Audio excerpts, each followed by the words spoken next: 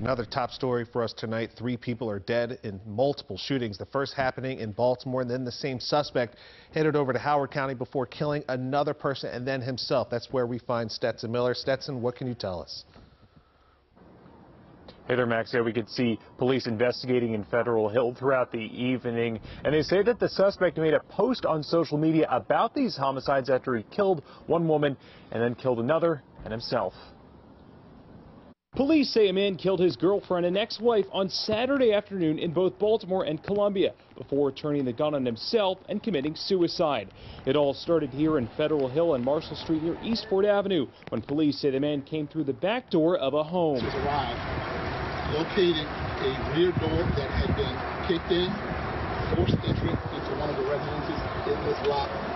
Forced entry found female victim uh, that was deceased. Police say the victim was his girlfriend. Jay Bernard lives nearby and was shocked to see what had happened.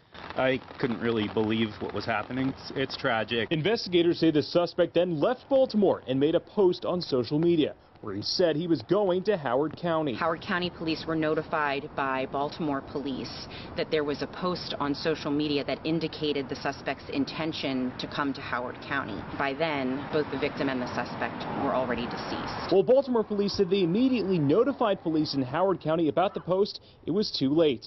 By the time officers got to an apartment building on Eden Brook Drive in Columbia, Howard County Police spokeswoman Sherry Llewellyn says the suspect had killed himself and a woman who they believe to be his ex-wife. What we now believe is that that was a domestic-related murder-suicide. We believe that the suspect, who is male, came to the area, sought out the female victim, shot and killed her, and then shot and killed himself. And police have not identified the suspect or any of the victims. We'll, of course, keep you updated as we learn more. I'm Stetson Miller reporting live for WJZ.